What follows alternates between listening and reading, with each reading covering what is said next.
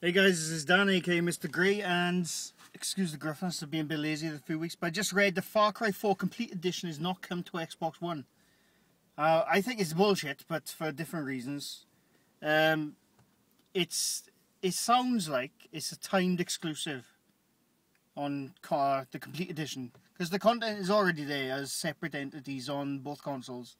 But I think the fact that Ubisoft has confirmed this, by the way, the fact it's not coming to Xbox One, I think a bit bullshit because of the hypocrisy of the internet. Now, this is what pisses me off. If Microsoft, I'm not saying again, I'm not saying Sony has done this, but it sounds like they have, right? It's going to PC and PS4 in Europe. It hasn't been announced for North America, well, which it probably will be.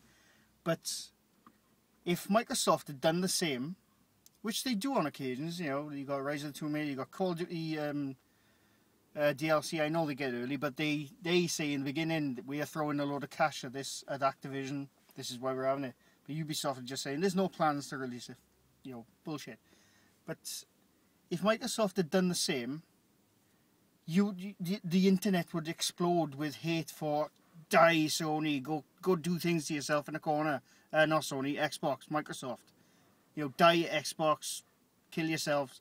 They the internet would explode. Sony do the same, and it's like, hmm, well done, slow clap for Sony, and that pisses me off.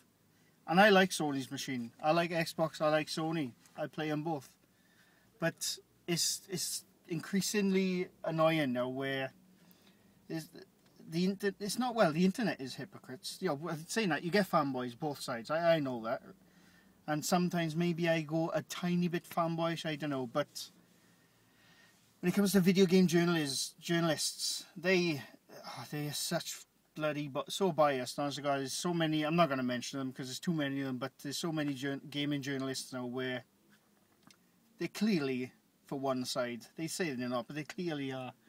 Because if this happened the other way, oh my God, the internet would explode. Journalism would cry. You know Oh my god, the horrors of Microsoft. It's bullshit if you ask me. Anyway, I'm not going to keep this long. I just want to say my piece. I think it's bollocks. Thanks for watching. Bye for now.